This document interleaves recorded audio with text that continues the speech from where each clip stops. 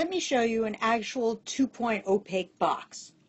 When we look at a two-point opaque box, the first thing that we'll notice is the front corner is the area closest to us. Everything else moves away.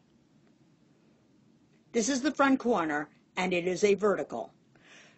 Now, the lines that move away from us would be drawn as orthogonals.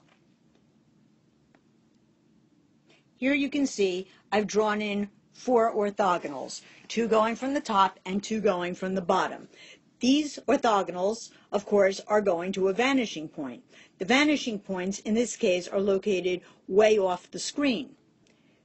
That's not something that's unusual for artists, having vanishing point or points that are located off the edge of the picture plane.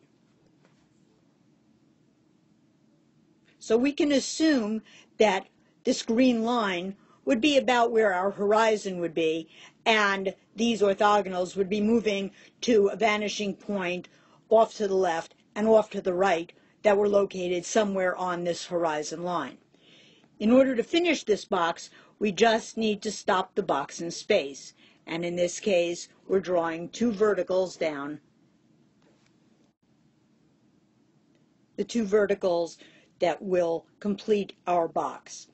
Now, if you take a look at the uh, horizon line, of course, if it is in fact an opaque box, then that means that we wouldn't see the horizon line through the front of the box. So that would mean that we would need to erase this, and then what we would be left with is something that actually does look opaque.